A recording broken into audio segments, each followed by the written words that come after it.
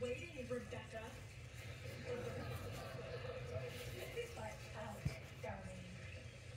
Any answer, come on, lie to me. Do you have to know where I am every moment of my life? Yes.